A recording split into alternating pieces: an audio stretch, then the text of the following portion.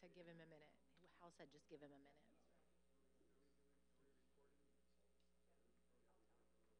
I believe we have, yeah, we have. Good?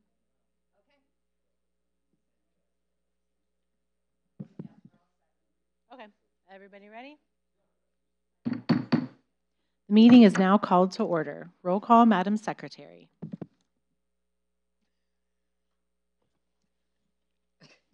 All board members are present and accounted for.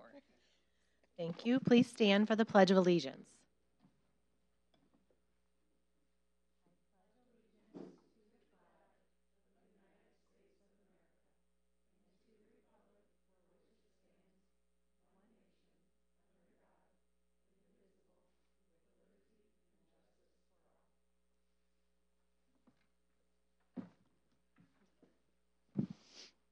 We do not have any public comment this afternoon. So our next item is the action item for the resolution finding a bidder not responsible, Mr. McMichael.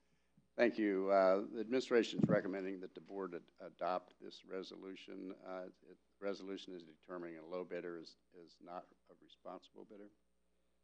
So we're asking for action on that, and the detail, that, that entire resolution you have in front of Thank you. May I have a motion to approve the resolution finding a bidder not responsible? So moved. Thank you, Katie. May I have a second? Second. Thank you, Jennifer. Any discussion? Seeing none, we'll take a vote. All in favor signify by saying aye. Aye. Motion carries. Our next action item is the bid award for the Carmel High School Football Stadium additions and renovations, Category 4 Structural Steel. Mr. McMichael. Thank you. Um, There it is. I am. So the recommendation on this uh, bid category for structural steel is to award this bid to Geiger and Peters um, in the amount of two million, one hundred and thirty-two thousand dollars. This is for the Carmel High School Stadium. Thank you. May I have a motion to approve the bid award for the Carmel High School Football Stadium additions and renovations, Category 4 Structural Steel? So moved. Thank you, Jennifer, and second from Greg. Any discussion? Seeing none, we will now take a vote. All in favor signify by saying aye. Aye. Aye. Motion carries.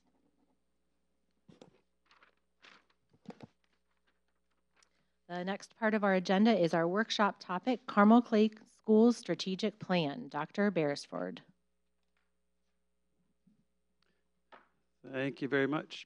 Um, I need to grab the clicker. Colleen's coming my way. Um, uh, my part of the program this, this afternoon, this evening, is going to be a little, little quick and short because uh, I'm going to talk just a little bit about our, we're going to land the plane, our, our current strategic plan. It will be over the, this year in 2025 here in the spring. And uh, then I'm going to turn it over to Dr. Oestreich to talk about the structure of the upcoming new strategic plan. So I'm going to go kind of quickly. Um, and what I thought, uh, since we're off to a little slower start than we anticipated, um, you've got legal pads and pens. So if you have questions, if you let me just go through it and then just write down your questions as you go. Louise is saying, no way, I'm not going to do that. Um, but, uh, but if you would, you know, of course, it's, you can do whatever you want, Louise. Um, but uh, if you uh, want, then we could just do the questions at the end, uh, just to keep it uh, efficient as possible. So with that, I'm just going to dive in. So we had uh, four key areas of strategic plan, um, and the first one, of course, is student learning. And uh, the reason I'm not going to go to a ton of details because you guys have had workshops and uh, and you've had reports from Dr. Dudley, uh, Mr. McMichael, Dr. Oestreich throughout the years. So you, you probably know a lot more about these things than, uh, so don't need too much explanation. But I did want to run through some of the pieces of it. So the first one, student learning. And of course, we wanted rigorous and differentiated learning opportunities. Uh, you knew that we had to focus on literacy and mathematics and career technical programming because those were the three major areas of uh, program evaluation that Dr. Dudley and her team went through. And uh, the big growth in career technical and internships has been well documented throughout the years. Um, integrated authentic assessment measures to ensure greater relevance for students, promote achievement. That was early on in uh, making sure that we were communicating if kids were mastering the skills and the information and uh, how do we measure that and how do we communicate that? Because when you get right down to it grades are uh, communication. And uh, and that support piece of it. And then strengthening student engagement and closing achievement gaps by ensuring that students have rigorous content and support needed to be successful. And uh, we had a uh, a report by Dr. Dudley uh, several months ago now that where she re- reported on achievement gaps. And we had the the biggest closure of achievement gaps in my career, and uh, so that was pretty pretty impressive. So our key measurements were formative, summative assessment data. That means the day to day, and then of course the big tests or the big projects, the big big tests or things that we did to measure uh, how kids are doing. Uh, of course, the program evaluations we went through, and we, uh, which is one of the hallmarks of Carmel Clay Schools, uh, the curriculum development that comes after that, and uh, all those pieces. So, some of the strategic examples, some of these might look uh, familiar, uh, where we talked about phonological and phonemic awareness uh, at the start uh, this, of this strategic plan, um, structures for responsive instruction, uh, the math program evaluation, and uh, I'll always remember those two. what grade were they in? First or second, maybe? Yeah, first grade, and they both worked out problems on easels here on the on the floor, and uh, they both got the, to the right answer, and they they both did it completely differently, and then they had a discussion between the two of them on why they liked the other one's strategy, and uh, we saw the shift really from getting the right answer to how do you problem solve. Um, research and authentic assessment again, um, strong data culture using data to inform instruction and planning. Uh, use of multiple data points to identify students who may need additional support, and then, of course, professional development. To hear that uh, phrase, we just uh, had an executive session, identity safe learning environments to increase engagement. Second big area was student support, so student support services. And uh, the goal here is to ensure all students experience a safe and supportive environment that's responsive to the needs of each student, which is one of our guiding principles as well. Um, also, to make sure students' social and emotional needs are met and supported because uh, kids are whole kids, not just, just uh, an academic side. They have a whole, they're a whole kid. And ensure access to mental health support, serve as a resource for families um, with school concerns or if they're in need of assistance, even outside of school. And you can see the key measures on the right side there. And I think you've heard a lot about those, so I'll move on. Here's some of the strategic examples. Uh, so uh, this is the, the seventh year, and we've had seven different uh, school safety plans because uh, mostly Mr. Woodward's work on never being satisfied and always trying to find better ways to keep our kids safe. Um, staff, student, parent training on safety protocols, we're the Parent Academy, implementation of fully staffed SRO unit, and uh, I could talk all night about that. Our access control, uh, we did a lot of work on that up front in the last strategic plan and continued that going on into the, to, uh, the second strategic plan. And I imagine that we'll continue that into the next strategic plan and the next one after that on how do we keep uh, access controlled. Uh, refinement technological safety enhancements, equity training and, and, initiatives for staff, which you just heard an hour on that. Uh, monitoring and refinement of contracted mental health services and uh, that's been a big team work there between Student Services and Mr. McMichael and the Wellness Center, uh, all working to make sure that our families have access if they need it. Uh, pandemic recovery, I feel like we've recovered from the pandemic. Uh, there's still some lingering things that maybe will never go away, but uh, but we've met uh, and really we're thankful for the opportunities that we were, we had our mental health help and uh, and really the academic and and behavioral supports in place uh, prior, just prior to when the pandemic hit. So we're pretty fortunate for that. Uh, suicide prevention, training response protocols, um, development of the processes for collaboration with local agencies, um, and how do we help kids and families with, in adverse life circumstances. Student support uh, and uh, there's not enough you can say about that. Is on the, there's the academic side, but kids can't learn if they have a lot going on uh, that they're walking into school with, and, and student services is a place where we try to meet those needs. Third uh, big group is employee growth and satisfaction, and uh, this is heavily into Dr. Oestreich's area.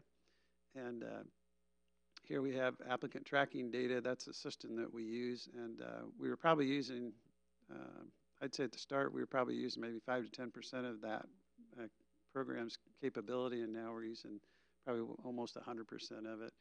Um, exit interviews, customer service feedback, um, train system data compliance. Uh, that's those compliance. Uh, we just switched to a different company this last year.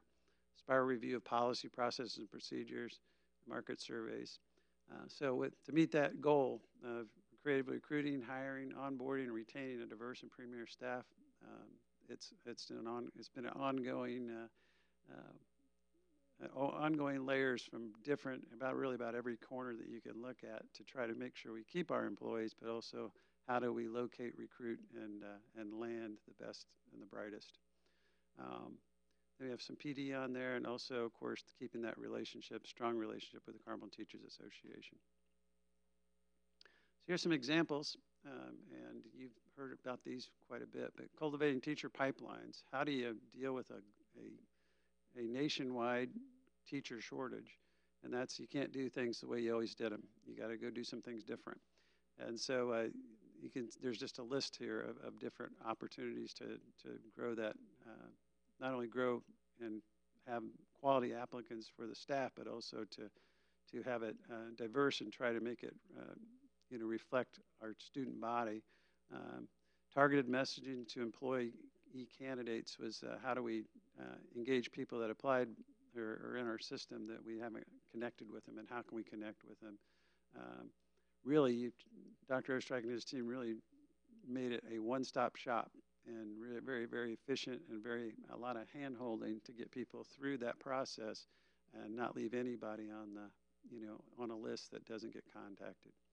Um, uh, enhanced marketing promotion at CCS. First time in my career there was ever an advertisement on a shopping cart in order to try to get people into into the Carmel Clay School System family. Um, targeted job fair recruitments, our, our mid-year and summer uh, recruitment fairs have been outstanding. I don't know anybody that's uh, been able to to be as successful at filling all the holes before school starts uh, with uh, Dr. Oestreich and his team's work. And of course, that onboarding process I mentioned. Far as growth and satisfaction, um, so you have uh, the Carmel Clay Teachers Association, their collaboration, bargaining, uh, working with the teacher handbook review, uh, just a lot of collaboration uh, between the, the Teachers Association. And it's a, it's a relationship that we cherish and uh, that really makes us stronger and it really puts our kids in a much better, better situation than uh, you can imagine. Um, when we work as a team, we just, you know, the first, first theme was together we're better, and it still holds true. Uh, specialized professional development as needed. Uh, the pro- compliance training processes, trying to get that smooth. Uh, the identity safe workplace, talented development system. Uh, Dr. Oestreich and Dr. Dudley have just done a wonderful job of rolling that out. That is one area that we're probably going to have a little leftover because uh, um, we chose to go slower so we can go farther instead of going faster and go not as far uh, that was something when you, we got into it, we learned that uh, you can't just push something in a whole program and expect it to well. You have to take your time, make sure everybody understands it thoroughly, so that it's it's well done and people understand um, the um, importance of it and really the how-to of it. And uh, once that's fully implemented, I'm going to be watching because uh, for the first time in a long time, the idea of evaluation and development of talent over rating people. Uh, I think it's going to be uh, the first time we meet with what teachers actually do and need and want to, to be successful for our students' sake.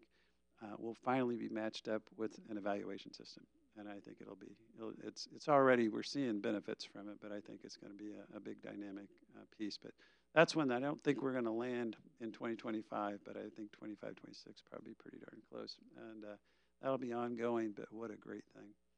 Um, Wellness Center benefits and promotion. Uh, you know, um, I think the most difficult part of our, our Wellness Center and benefits promotion is that um, Roger keeps getting invited to all these different um, the school corporations and also like businesses who want to uh, copy the model of Carmel Clay School Wellness and uh, and uh, the Wellness Center and our benefits. Uh, so uh, that just keeps growing and getting better and better, and it's really a drawing card to to draw talented individuals who want to join the the district. And then finally, continuous improvement, always trying to do better on how can we serve our customers the best. Finally, we're going to go to enhanced operations where uh, we've got, we had a bunch of them back here as well as uh, uh, Mr. McMichael and Todd and that, in that group and Tabitha. Um, always continuously wanting to improve and refine daily operations. And uh, daily operations always has challenges and, uh, and, and uh, just the, as an example, when the power went out, Christy and her team were right on it. Maintenance was right on it. Uh, there was a lot of work being done to because you have to power everything's powered off and then you can't just turn the switch back on and have everything work they have to put in the time and the hours and the quickness and it's very very efficient right now uh, much more than it's been in the past. So uh, flexible long-term financial planning and this falls in that finance team. Long-term planning of maintenance design physical improvements to facilities and we've, we've uh, that's like on every every uh, agenda we have right now. And uh, um, I'm proud to say that over the last um, three years of this plan, we've moved a lot of 1990, 91, 92 uh, facilities into an updated 2025, 2024 uh, more level. Um, so a lot of the places we've touched at Carmel High School and in different parts throughout the district have, have, not been touched in a long, long time. So it's good to see those facilities uh, being updated and being great places for our students to learn and grow. Uh, enhancement of technology services, uh, cybersecurity, data, data privacy, and communication processes. And uh, um, Christy Cloud is something else. Um, you know, a lot of times during a meeting, I'll ask her to explore something, and then I'll get an email during the meeting that she's already completed the, the task I asked her for. But uh, her leadership has been uh, just superb in a time when uh, so cybersecurity breaches. There was just one recently at Richmond Schools was attacked, and uh, they had to close school. Um, with the data privacy pieces, were uh, very insightful to do that years before anybody else even uh, was was considering all the, the ramifications of how much data is being plucked uh, from students. Um, having that trusted learning environment, um, got that insignia a year early. Um, maybe more than a year early, at least a year early.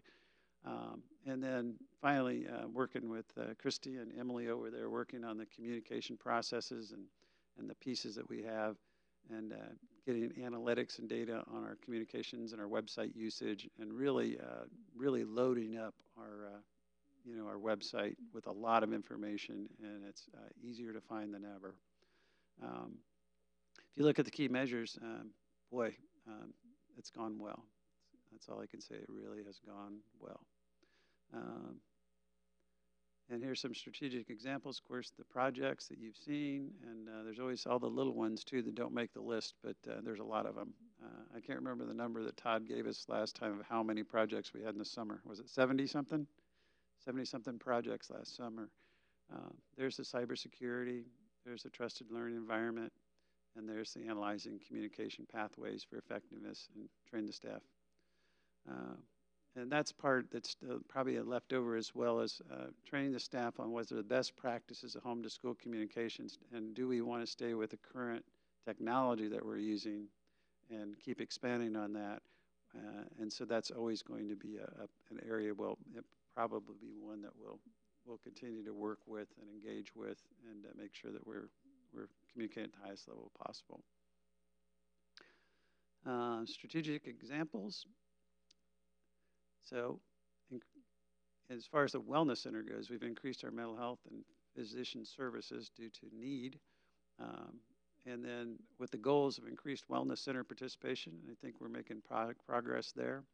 Increasing uh, fitness center participation. Roger, would you say we're uh, our numbers are up?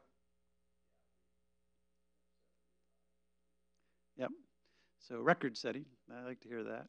Expanding our financial well-being services, and uh, Dr. Herrera has been uh, uh, doing a great job promoting that, uh, how to manage your money uh, services. Identifying centers of excellence, I'm actually a customer of that. Amazing, amazing how we can identify centers of excellence and, and funnel our, our people there. And they get back on the, it saves the corporation money, saves them money, and also gets them back to work sooner. Uh, maintenance of our cash balance, we've, we're not quite to that 12%. I'd hope to get there before 2025, but uh, we got pretty darn close, and we had this pandemic thing and a lot of, lot of challenges to that. And then finally, uh, something we don't take for granted is we're maintaining that level tax rate at all times. Um, there's our debt service metrics, um, bargaining agreement, uh, the, the continual improvement of our culture of employee wellness. Um, it makes me sad that it's just a little box with a check mark on it, but operating referendum renewal was huge. And uh, it was a lot of work in getting great communications out there, but I cannot appreciate our community enough for wanting to make sure that our, our schools uh, are able to, to support our teachers in a way that keeps us competitive and, and keeps us in where we can attract the best and the brightest. Um, and then, of course, for further refinement internal controls. And then uh, you're seeing another one that'll be a leftover into the next plan is the implementation of the automated time and attendance system. That is progressing, but again, we're taking it slow to make sure that it works well. And that is the fast version of landing the plane for the uh, 2025 spring ending of a three-year strategic plan.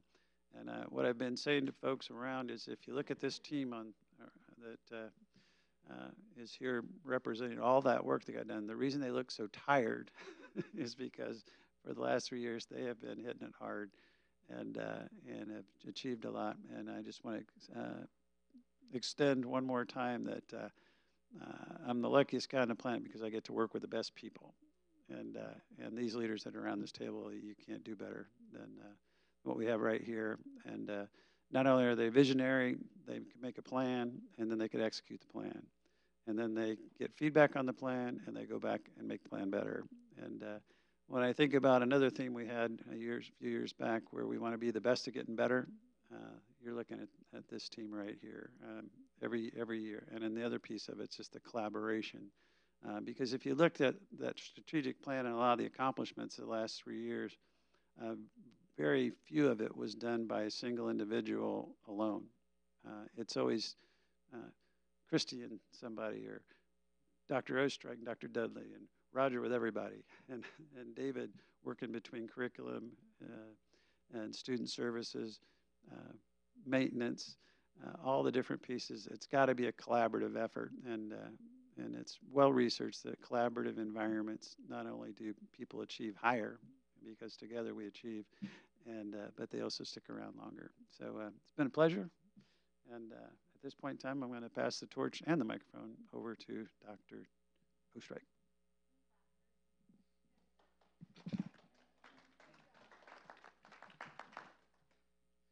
Well, good afternoon, uh, President Coquet and members of the board, Dr. Beresford. Um, I'm excited to be here today to talk about our next strategic plan. And today we're going to focus on process and we're going to focus on structure and what that may look like. And so, just as guiding our purpose and as a reminder, we have our vision, uh, which is Together We Achieve. We have our mission. Uh, Carmel Clay Schools will provide opportunities for all students to realize their potential in an ever changing world. And I loved what Katie Browning, our previous uh, school board president, uh, put up on the uh, for the last strategic plan, and I just want to read that. Um, the strategic plan is anchored by the CCS guiding principles and keeps students at the center of every decision to build upon the current accomplishments and create a lasting positive impact. And I love that last part create a lasting positive impact for our students, for our families, and that is uh, why I'm so excited uh, for this next strategic plan. And so there are the guiding principles. These came from a strategic plan, I believe, back in 2015.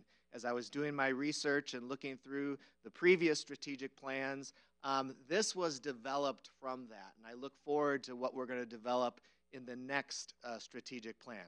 So, what I want to take a look at is first is first of all is how are we going to engage the community? And I think we are very advantageous, and the timing is advantageous uh, with the superintendent transition. So we have an opportunity that this will serve as a dual purpose. It will serve as a dual purpose for me as your next superintendent to listen to the community, and it will also serve as the feedback that we get from our uh, CCS stakeholders to develop and inform the next strategic plan for the future. So I'm really excited for that. I appreciate the foresight of the board in moving forward with the next superintendent because if I wasn't in this role, this may not have taken place or the strategic plan could have been delayed for a year until that new person came on. So I'm very appreciative of that. I think it's also important for the next strategic plan that we gather feedback from our community, and I'm going to talk a little bit more about that. Um, and then I want to engage our community in various ways as we commence the process, beginning with the next school year. And so, what I did is, I uh, from the ISBA, they recommended a book uh, that's called Improving Schools Through Community Engagement. And it's a practical guide for educators. And so, um, President Koke and I have been reading this book, um, and it's going to serve as a framework for hopefully how we move forward with developing our next strategic plan. And so, number one, we frame the issue, um, which is developing the next strategic plan. Strategic plan. We're going to identify constituent groups, uh, understand that constituent perspective, and then develop strategies to encourage that action or that moving forward. So I'm very excited about that. Page 11 of this book uh, goes through that framework, um, but I'm excited to move forward with that. Yes, or if you want to order it, we're happy to order it for you. Um, and so the first thing I'd like to do is a community survey. Um, it's important to have that vehicle where all CCS community stakeholders can provide meaningful feedback. It will include external and internal stakeholders, um, but it's very important that that survey needs to be reliable, needs to be valid, and produce measurable data. And so I would like, with the board's uh, permission and blessing, to uh, research organizational partners um, with experience working with district survey development and with school districts to partner with an organization in developing those questions that are valid and reliable. Additionally, um, what, once we um, have the survey out to our community, um, I would present the results back at a board meeting. Um, and then we would use those results to inform community listening sessions to gather further feedback, which I'm going to talk about. And so, also with the community survey, it's important that we spread the word throughout the community. Um, email, social media, press releases to the current, for example, expedition participants, so on and so forth. And we may need to spend a little money on this so that we can get uh, the survey in the hands of those with children in the district and with those without children in the district so that we have a broad based uh, feedback that's provided to us. Um, the survey, I'm excited about this as well. It will also serve as baseline data for the district to collect um, and compare uh, the current, and then also we can use it in the future. I very much hope I'm here for at least the next five strategic plans here in the district, and so I would like to use that data moving forward as baseline data, compare it year to year to year. And these are just some basic sample questions. Hopefully, we would work with that organization. Um, but I mean, to get at the premise, what do you value most about Carmel Clay, Carmel Clay Schools? What are we doing well? What do you want to continue see us do here in the district to impact kids? And then what can we do better to prepare, prepare students for the future? So those are just base, basic sample questions. We would get deeper uh, on that as well to collect the feedback, but we want to explore feedback on all aspects of the district and also on what Dr. Beresford just presented to us. The current strategic plan, let's get feedback on that as we move forward uh, into the future. And then going from there, sticking with the community engagement, Um, I want to conduct listening sessions uh, that will serve twofold, as I shared. So these are in person opportunities to provide feedback to district leadership. Um, it needs to be inclusive, it needs to be dialogue driven process. So we, it is critical that we are listening uh, in order to learn and grow our understanding of Carmel Clay schools. This is not an opportunity for us to go back and forth with communities or disagree with what they're sharing. We need to soak that feedback in, take that data, and then move forward with um, that process of a strategic plan. Um, we would invite them, organize them. They'd be in small groups. That was also part of the book uh, from ISBA that they recommended. And the questions that we ask will be some, somewhat similar to what's on the community survey, but we can also narrow down of getting that feedback from the survey and then asking more specific targeted questions to enhance our progress uh, forward in the district. And then we want to make sure everyone's voice is heard um, during that process. And so these are just examples. This is not exactly what we're going to do because there might be other groups we want to include, and we may not include all these groups because we'll, we'll get them at certain areas and, and points. However, obviously, the board's going to be very important in this process. Our teachers and support staff, our students, and I'm going to I'm going to go a little bit deeper on that, getting that student feedback. Looking at our athletic booster parents, our foundation board, board our uh, Carmel Education Foundation is critical in our mission and vision and what we do here in the district. Our Equity and Inclusion Parent Group is an important group I would love to hear more from. Um, city and government leaders and partnering. I think you heard in my superintendent report on how they've been uh, sharing the great news about Carmel Clay Schools. So I want to hear more from them as well. Parents of students with special needs. Um, I presented to uh, the Carmel Lions Club, I think it was last week, um, and get, get feedback from the Lions, the Rotary, the Kiwanis Club, um, obviously our principals and assistant principals, our superintendent's cabinet, many of who are here right now. Performing arts parents play a critical and huge role in our district. And then I want um, some uh, community, some sessions that are just, we invite the entire community. And you can sign up and you can attend, and we want to listen to you and get that feedback so we can include everybody as part of that process. And so, with that, um, let's talk about the school board for a second. We have two new school board members that'll be arriving on uh, right after January 1st. And so, would the school board consider working on specific goals that will improve school board effectiveness and understanding of the role in the board? And with that, we already have board no- norms and then communication expectations that boards have laid out in the past that provide those governing expectations and consistency for the conduct of our board members. And so, would the board be interested in developing specific board goals uh, that can be related to professional development? They can be related to the strategic plan uh, or other ways. And obviously, ways that we can engage the board for continuous improvement. And then what does the board want to accomplish together? And so maybe we can host some executive sessions and we can have those conversations um, and potentially bring in a trainer that can work and help us develop that. Um, and then, um, as I said earlier, that process is not going to uh, start right now, but that process would commence with the arrival of our two new school board members. And then, so a, a draft timeline um, that I put together here. So, tonight, presenting the process for developing the next strategic plan uh, for you all. Um, and then, if, if, we get the go ahead and everyone's good with the process and the structure, um, we would create, develop, and implement that community survey prior to the end of the semester. So, we're going to start moving here pretty quickly. Then, I would present the results to the board in January or early February. Um, and then once we present those to, the results to the board, then we're going to go ahead and conduct those listening sessions and those focus groups with the community and host those um, at a variety of locations within the district.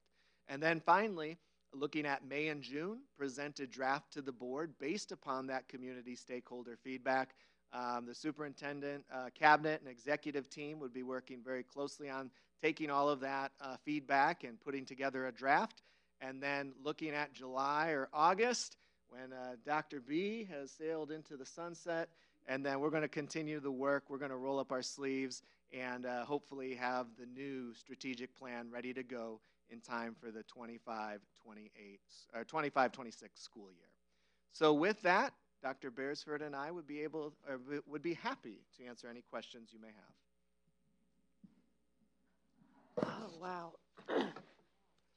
Do you want that, or can you hear me here? Yeah, we can hear you. Okay. Wow. Um, I'm sad that we're doing this now when I'm leaving. Perhaps intentional. No, I'm just kidding. I'm excited about this. This is a, a great proposal. Um, continuous improvement, man, that is my my thing. Like, I love to know what the starting point is, build the plan based on feedback and input, and as a team, make changes, improvements that are representative of the needs of students, families, and the community. So I just really appreciate your um, analysis of stakeholders to really inform what we're going to be doing. Uh, so I'm really excited about that. Um, I think if I have questions or um, comments, a consideration after we get the feedback would be who is best in class or cutting edge or um, doing these things right beyond the state of Indiana. I think over the last four years, I've talked about, you know, what is our measure when we talk about being better? How did we select that measure? If it's just the surrounding schools, I feel like that uh, parameter or that um, uh, looking at that small of an area is, is just a miss. And so I just think about across the country who's doing things cutting edge and different and next level and even beyond. So um, let me see. And then what are the unique factors that Carmel, Indiana has that others, other districts, other schools don't have that we could be celebrating or we could be leveraging as we up the game in what we do, right? Like what there's so much I think that is unique to Carmel. Yeah, I mean, we got roundabouts, but you know, the diversity in the population and the skill set and the businesses that we have locally um, that could just take what we do to the next level. So those are my preliminary thoughts. Thank, Thank you very much.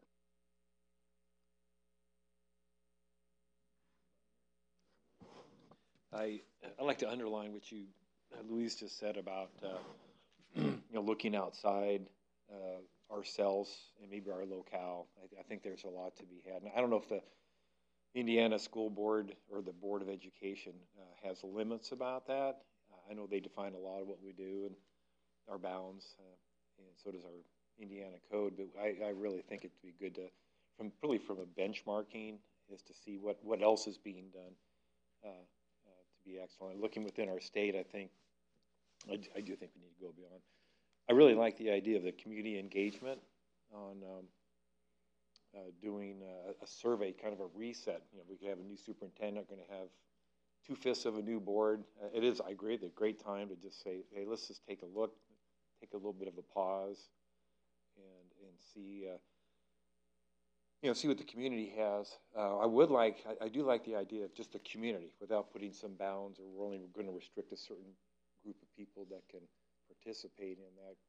Um, I'd like us to compete for the business of those families that have kids that aren't using the public schools and get their input and see, well, what, what can we do to compete for your business? And I know we- we're not going to satisfy everybody. I wouldn't expect that, but I, I would certainly think that there's there's something that we should listen to and uh, and think about. um, I'll, I'll take a pause there. Thank you.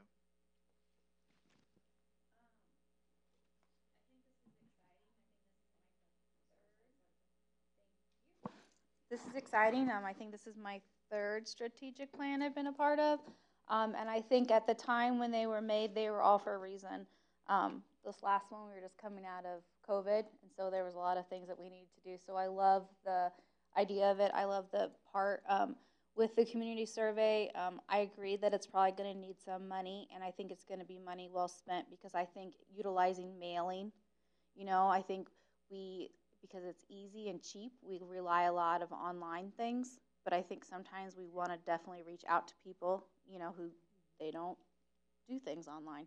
So I think being able to utilize that, and I think it's a great opportunity for us at the same time to tell our story. Carmel Clay Schools is amazing. There's a lot of great things, and so I think but you know there's a twofold with that.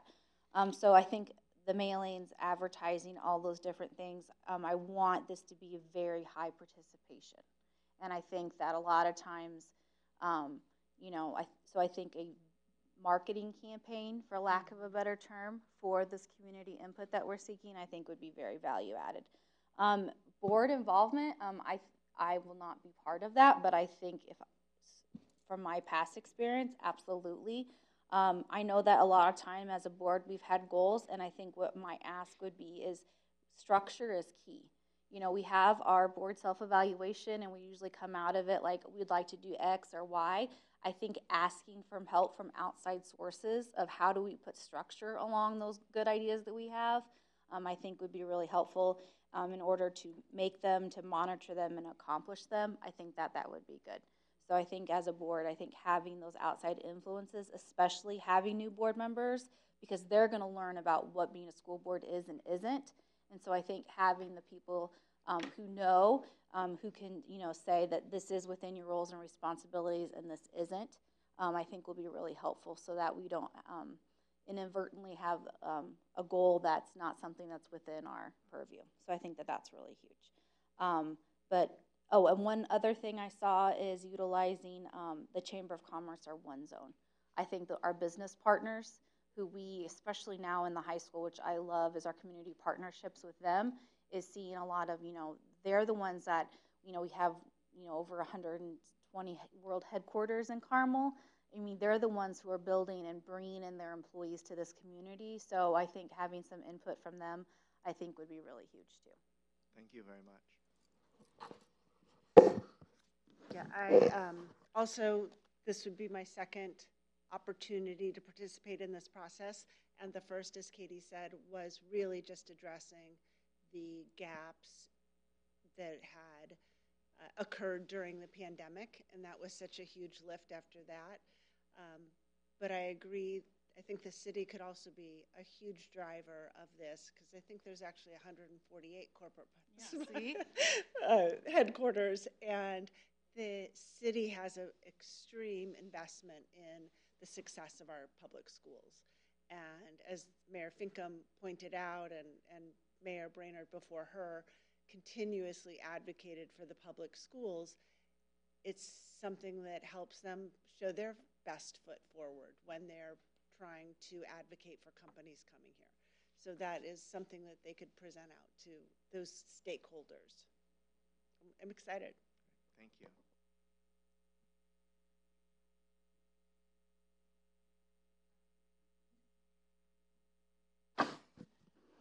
I'm going to just echo what everybody else said. I'm really excited about this, especially the community feedback part. Um, just listening, again, also to the students and, and the staff that we have. I was going to touch on what, what Katie kind of said and what some of the things that I know Dr. Oestreich and I learned at ISBA last week. Um, is I agree with having somebody come in and helping us with goals, and but we gained some really valuable information on um, how many goals we need to write. Um, and so one of the books I'm reading is about that. Um, you know, writing seven to eight goals, you're only gonna, you're just not gonna really probably attain any of them. So writing it, keeping it to one to three goals and goals that are that are measuring student outcomes, um, and then you know, an idea is to make sure that those are addressed at every single board meeting, um, so that the board goals are addressed every single time that the board is meeting um, and, and giving progress towards those goals. So, it's exciting. I just want to say thank you, and Greg will give you a moment here. Um, I appreciate the feedback uh, from all of you, and I'm looking forward. I am excited because I want to hear from the community and what they have to offer. And the city, I think, is a great um, recommendation as well. And, and the partnership that we do have with the city is just fantastic, and continue that partnership, but also to get that feedback. Um, it's going to take a lot of time, and I'm looking forward to investing that time. It's an investment in this community moving forward. Um, and it's also going to be an opportunity for those that are on the board because you will be welcome at any of those listening sessions to hear the feedback uh, from our community. And so once once we start putting this together and start getting those dates and those times and those locations, certainly I'll get those out, and you're welcome to join us at those. So, Mr. Brown, thank you. I, was just going to add that I think it would be helpful if we really engage the teachers in, in a real uh, direct fashion in, because they're the ones in the classrooms. You know, they're the ones that are dealing with the challenges of different students and, and, uh, and I think so often an organization, I'm not being critical of, Carmel, but just gener- uh, corporations at large, we, we tend to, you know, focus in meetings and discuss and bring experts in, but uh, I think a lot of times it's easy to, to forget the real experts are the ones in the classrooms. They're the ones that uh, can say, you know, things are changing. Um, uh, that we may be trailing if we're not getting there. I just would emphasize that we can make them a real active uh, uh, member of that. And uh, as far as the board goes, I, I think that's great too. I think it'd really be good to, to reset, you know, the, the whole thing. But uh, I like the idea of looking at how how should they. I'm having a hard time how to put it, and I'll look to Louis. She always helps me with trying to say what I'm trying to say. Uh, how, how do we uh, make the, the process of the board uh, more effective? And what, I, I'm saying there is, is more, perhaps more active than, than we might be uh, in, in, in actually being a participant in uh, where we're trying to take us to the next. So I think we. You're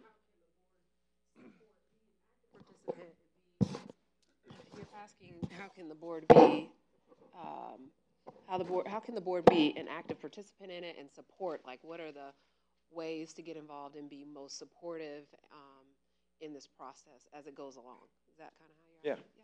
See, I knew you'd do that. Yeah, and I think, uh, should the board uh, be willing to consider the opportunity to look at those board goals, um, it, perhaps we do bring in an outside uh, trainer, an expert that will help the board uh, and help facilitate that process. And I would be happy to happy to get with you, and Dr. B would be happy to get with you on that to get that going as well. Once we have our two new members with us. Yeah. So.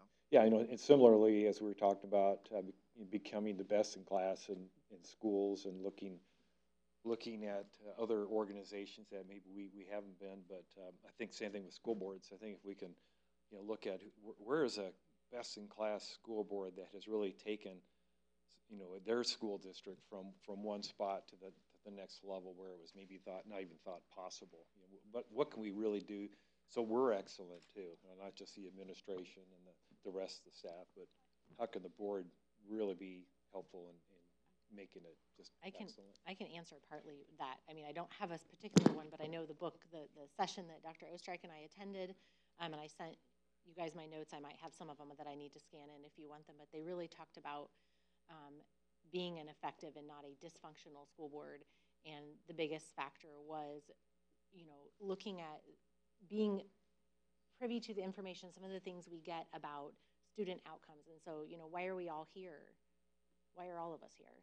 For, for student outcomes, correct? And so making sure that that's what the board is focused on, um, that that be the main reason, and then reporting on that and having that be um, at least 50% of our meetings reporting on or talking about student outcomes. So I do have a look, but I think having somebody else come in and help us understand how to get there. Um, so you, you know, that doesn't look like. I don't know. I'm just going to throw it out. Say right now we focus 10% of a meeting on student outcomes, and then now we need to get to to 50. Well, I mean that you have to gradually get there. So maybe our three-month goal is 20, and then it's you know, so we set goals to ourselves underneath maybe an overarching goal to focus on student outcomes. But that's just an idea. But that is what effective boards when this at least this gentleman that we listen to when he's he's looked at them and he trains boards um, was that focus on on student outcomes Great. I think um, part of that student outcome uh, vision and focus is, directly ties back to something that you just said that we con- that we remind ourselves and we concentrate on the fact that the teachers are the experts. And so when we, which I really um, applaud you for bringing up, Greg, that is we should keep that as one of our central focuses as well that's why we're all here to support the teachers. The teachers are on the ground floor with our students, and their expertise really needs to be held to the highest value. So thank you so much for bringing that up. And I think being mindful of that will really help us in this process.